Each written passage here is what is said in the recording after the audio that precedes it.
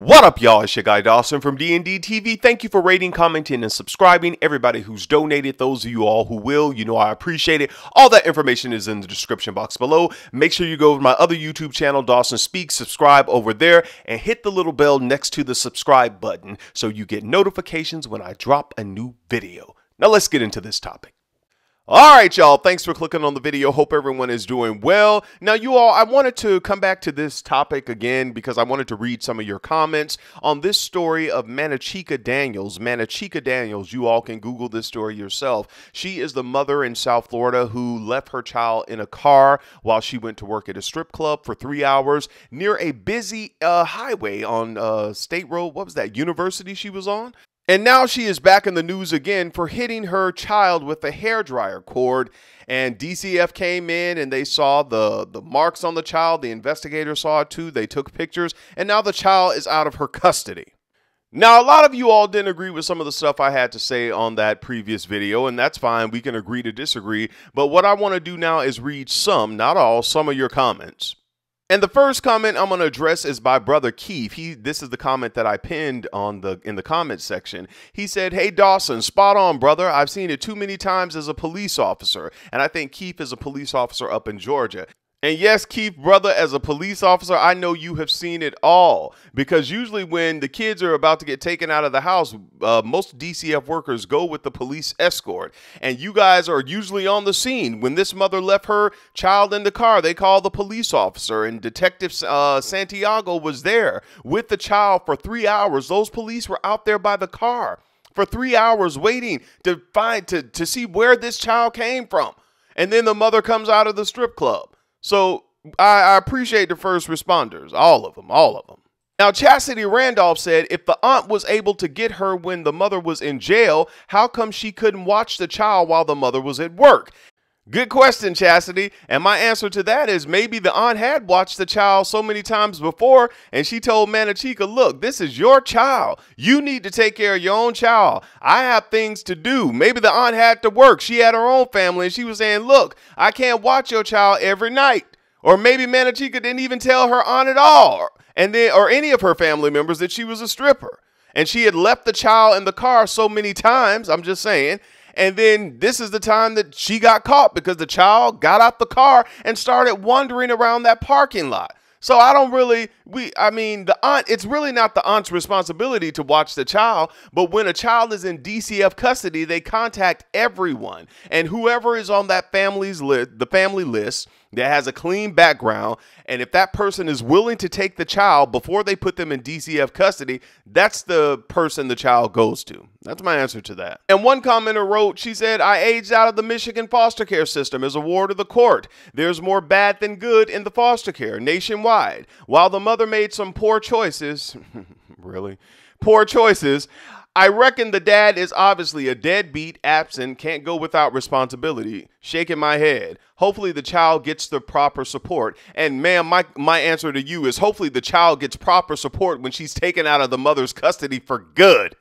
And that's how I feel about that. And of course, the foster care system, I never said it was the best. It's not all roses. No, it's not. And I did say in the video previously that we had some hiccups but for you to say that the mother made some poor choices and one of the people in the comments got to you and they said, look, perhaps the dad was a paying sperm donor. Pretty common here. The mother just didn't make some poor choices. She made a grossly negligent decision that placed her child in grave danger. She placed her child in grave danger. That's what you all are missing because you're caught in your emotions.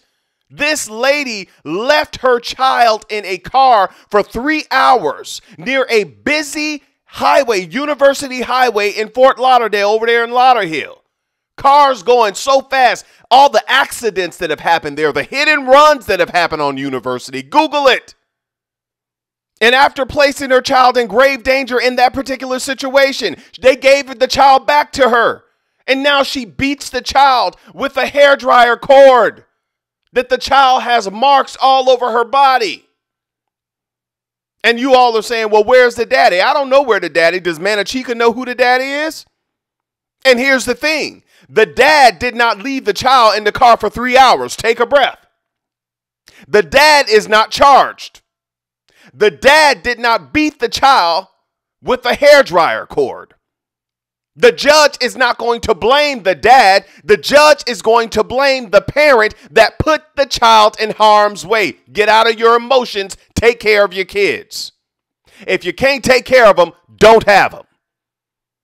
Now, being Marilyn Gale, shout out to being Marilyn, one of my super supporters here. She said, You better believe this wasn't the first time that this happened. I pray a reasonable relative takes the baby. And I agree with you, Marilyn. I definitely agree with you. Now, V Love, shout out to V Love. V Love came in the comment section and tried to give you women, some of you women who got emotional, and some of the men too about this particular topic. She tried to shed some light as a black woman, and I thank you for that because some of them got in their emotions, V Love. V Love said the mother should never get the daughter back. Take a breath. This is sister talking right here. V Love said the mother should never get the daughter back. The child could have been killed or kidnapped. That child is smart and brave. She was able to tell that her mother is abusive. Let that child have a chance at life to what she is destined to be. Keep her away from her mother. The mother has already shown that she is abusive and dangerous, and she doesn't care about her daughter. I hate to see stuff like this. It's happening every second of the day. I hope the aunt is a better parent. Thank you, V Love. Now, Kay Brown said, shaking my head, I do have sympathy for working women who can't afford childcare, but this woman is a bad mom all around. And some people got in the comment section under her comment, started saying, replying to Kay uh, Brown, saying, you know, with the rising cost of childcare, it's getting hard out there and all this kind of stuff. And then a brother got in there, I think that's a brother or somebody got in there. Benji said, Your kids are your responsibility. Take a breath. Y'all don't like hearing this because I agree with Benji. Your kids are your responsibility. It's nobody else's fault that you got pregnant. Take a breath. Benji goes on to say it's not the taxpayer's responsibility to pay for your child care. Take the pill, wear a condom, or keep your legs closed. Wow, Benji, you going off. Have some accountability. Now, y'all, there are a lot of people around the world who agree with what Benji said, and I happen to be one of them. If you can barely take care of yourself, you don't need to have a child or children. And I had a uh, a conversation with one of my supervisors one time when I was working with DCF because I would often tell my parents, yes, I would, look, and I've told y'all this on the show. When they have a bunch of kids, look, you already got three kids you can't take care of. You got four, you got five, whatever it was, because it was always over three and now you're going to get pregnant again and have another child you're, why would you burden yourself more you are you can't take care of these kids you have now and some of the women who were on my caseload they thought if they kept having children that it was going to keep a man and I'm, hey, look, I'm gonna tell you the truth. I'm Dawson. I'm Dawson uh, uh, on YouTube. I'm Dawson out there. I don't care if you get mad, if you never speak to me, if we don't speak in years, I'll tell you the truth. Oh, hey, I'll see you in the rapture. I don't care. Look here. I would tell my clients, you done had two kids by this dude. He he's not acting right. He ain't gonna stay with you. He don't want you. He's just there for sex. You are being silly by continuing to have sex with someone who's not going to take care of the child, but you want to be so emotionally attached to this man that you think by having kids is going to keep him here or keep him in your life. That man will give you three kids and walk out the door and never see you and them kids never again anymore. That's silly. Kids don't keep a man. And I got in trouble a lot because I used to tell my clients that because they always kept going down a downward spiral. They get out of the system, get off of DCF, and then they were back in the system again.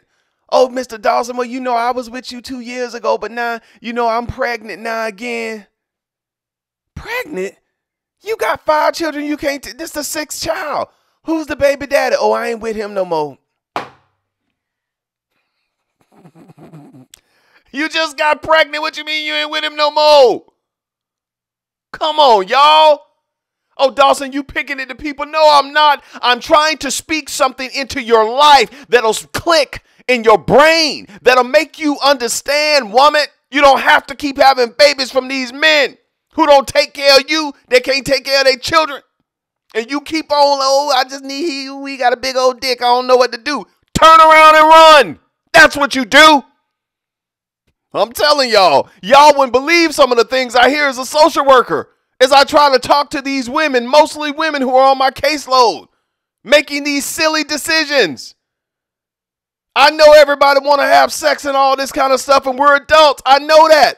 But if you're constantly doing something that's keeping you in a downward spiral, you can't blame anyone but you. You choose to keep having sex with this man. Oh, the sex is so good. Oh my God, he got this. Oh, get out of here with that nonsense. And you got kids that he don't want to take care of, and you got him on child support, and he don't care because he can't keep a job. He running from pillar to post. I'm sounding like them, like my grandmas used to say that mess. Running from pillar to post. Ain't got a what? What's the old saying they used to say? He ain't got a pot to piss in and a window to throw it out. And you keep having sex with him, producing these children. Come on, nah. And tell us oh, over the sex was good. Come on now. You know, I thank God for the women who on my channel and the women in the world who don't get caught up with dudes that just get them children and keeps them on a downward spiral. I thank God for you women. Y'all women need to start y'all YouTube channel and help some of these women who keep getting in this same situation where they have children they can't take care of. They're in the same situation where they dealing with men. Oh, the sex is so good. He made me squirt and all this stupid stuff right here. But look at your life.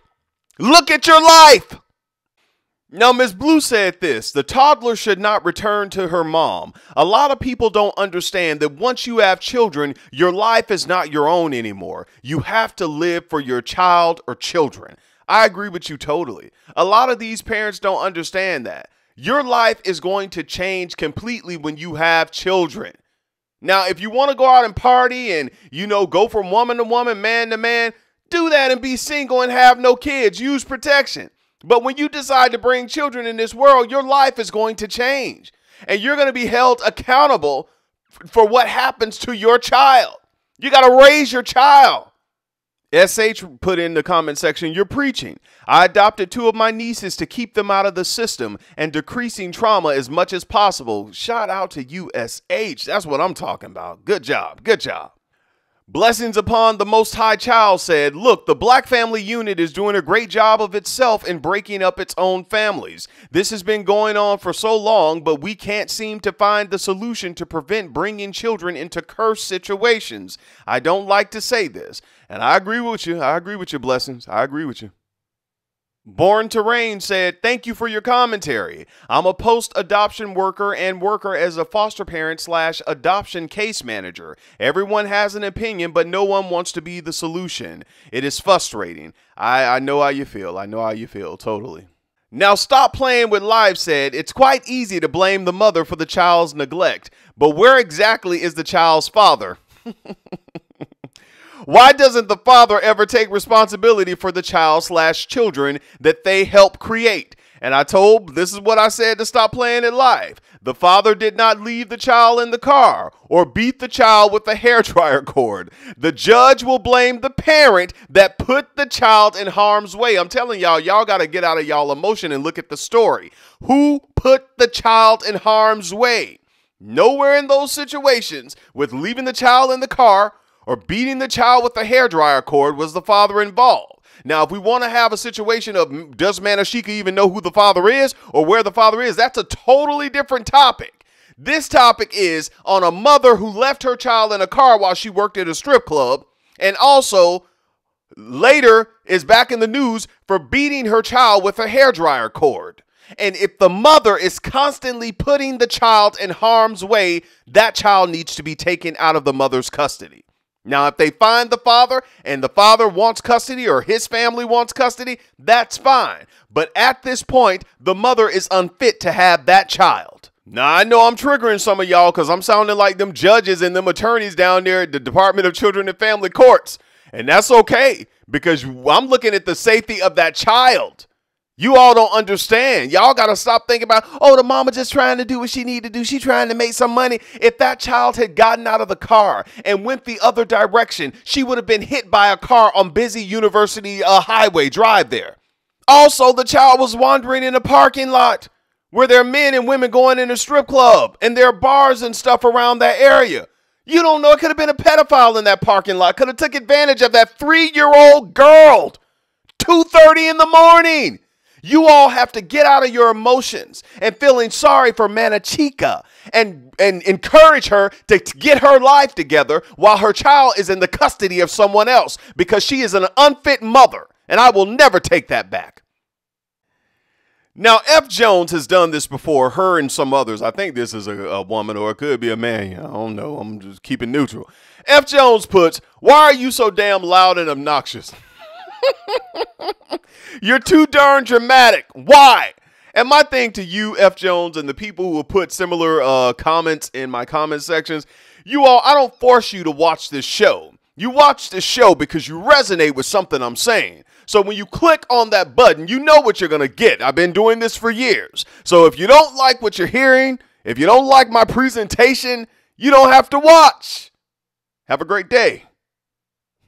All right, now Stephanie Campbell puts in the comment section, mind your business. She's not asking you for any assistance. Oh, Stephanie. Stephanie, the child safety is our business, Stephanie. That's why we're that's why I'm doing this show. And she's not asking anyone for any assistance now because the child's not in her custody. And hopefully the courts have some sense and they will make sure the child will never be in her custody again. Have a great day, Stephanie.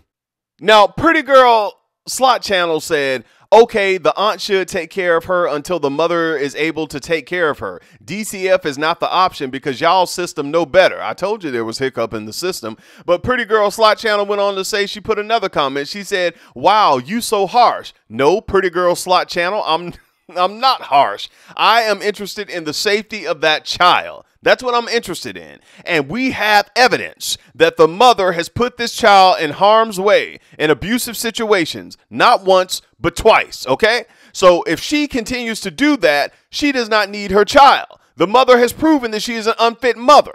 All right?